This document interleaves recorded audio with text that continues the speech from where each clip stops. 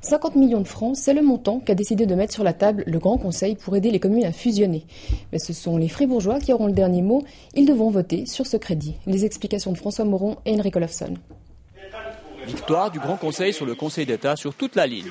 Ce matin, le Parlement a confirmé les options prises mardi. Le canton financera intégralement à hauteur de 50 millions de francs les futures fusions de communes.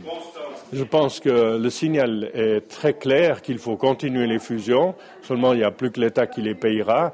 Et nous, notre argument, c'était que euh, si les cantons, si la commune participe au fonds de fusion, c'est plus incitatif.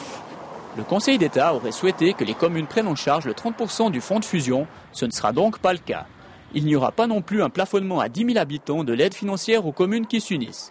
Après un débat homérique, le Grand Conseil a choisi en troisième lecture de désavouer le gouvernement cantonal à dessein de favoriser la fusion du Grand Fribourg. On a défendu le plafonnement parce que le, Grand Conseil n'a pas accepté la proposition euh, du début de deuxième lecture qui était de maintenir le fonds et puis euh, à ce moment-là on pouvait se rallier à la suppression parce que le montant final nous paraissait supportable. On est véritablement dans des réformes structurelles très importantes, celles qui permettent notamment d'avoir euh, des fusions, je dirais encore plus larges que dans un premier temps, mais aussi d'encourager la fusion du grand centre, qui est une nécessité vitale pour notre canton. Le montant de 50 millions de francs dépasse largement le seuil du référendum financier obligatoire, fixé à 34 millions. Le peuple fribourgeois se prononcera donc sur cet objet. Selon Pascal Corminboeuf, en gonflant à ce point la facture pour le canton, le Grand Conseil a pris le risque de faire capoter le projet en votation. Nous avons aussi quelques craintes pour la votation populaire qui a donné des résultats un peu mitigés à Lucerne et en Argovie, où c'est à cause du centre cantonal que en fait, la votation a échoué.